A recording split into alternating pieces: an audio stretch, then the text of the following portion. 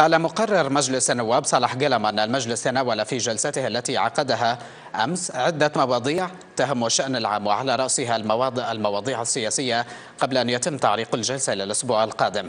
كما ضاف قلم أنه تمت مناقشة ما تبقى من جدول الأعمال في الجلسة الماضية والتي انتهت عند موضوع رئيس هيئة الرقابة الإدارية وانتخاب رئيس لها.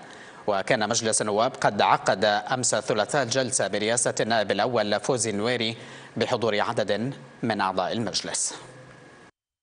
نحن الآن في قاعة مجلس النواب بعد نهاية جلسة يوم الثلاثاء 3 4 2018 الجلسة طبعا كانت معلقة. جاء السيد النائب الأول دار الجلسة بحضور عدد من النواب.